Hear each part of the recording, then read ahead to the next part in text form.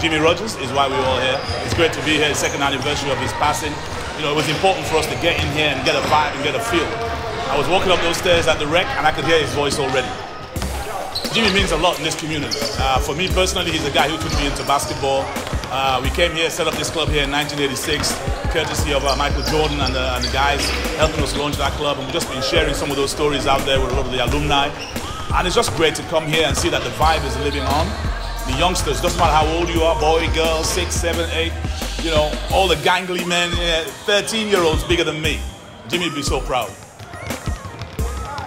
Jimmy Rogers was everything to us growing up, especially here in South London. He was the godfather of basketball for a lot of people when I came, I was quite young, but uh, I, was, I was experienced enough, and uh, he thought I could play on the 16s, on the 18s, and men.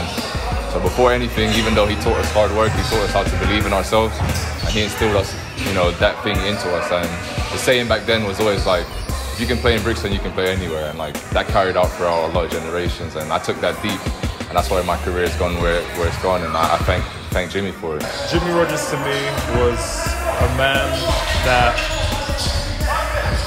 guided a lot of young men to, to personal development, personal growth.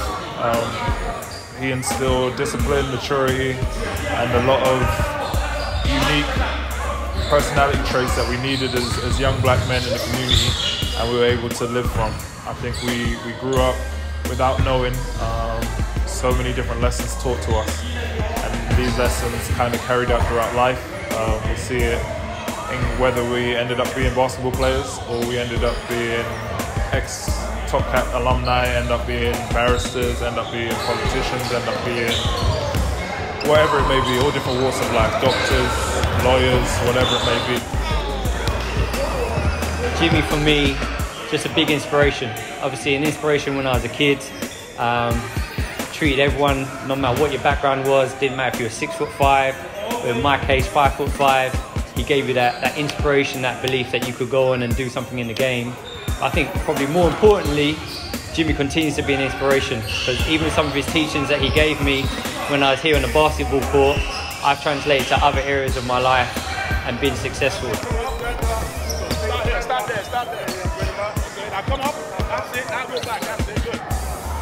Jimmy Rogers to me um, was pretty much everything really, you know.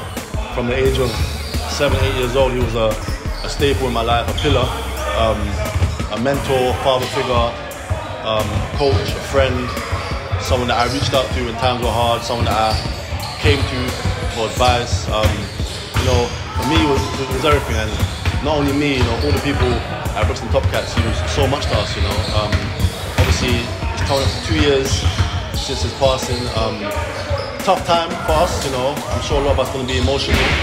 But you know, at the same time, we have to give thanks and just you know cherish all the moments that we have with Jimmy. Um, you know, he meant so much to the Brixton community.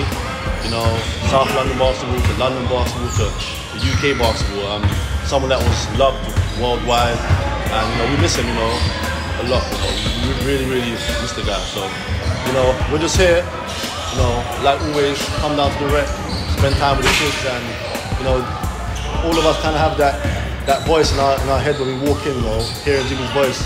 Um, so yeah, you know, Jimmy, you know, we love you, man. Right.